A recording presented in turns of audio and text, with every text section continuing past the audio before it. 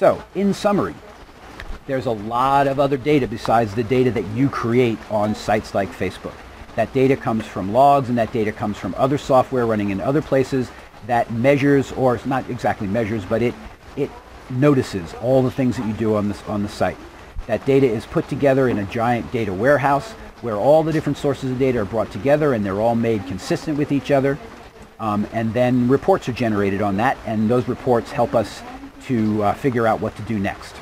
The two major reasons why we do all that stuff is to know what's going on right now, to have that control panel, that kind of way of saying, you know, what's going on at this moment, and also to tell us what to do. And when we're trying to figure out what to do, we go round and round this circle of setting a goal that we want to have happen, and then creating interventions, measuring the results of those interventions, and then based on the results of those interventions, setting new goals.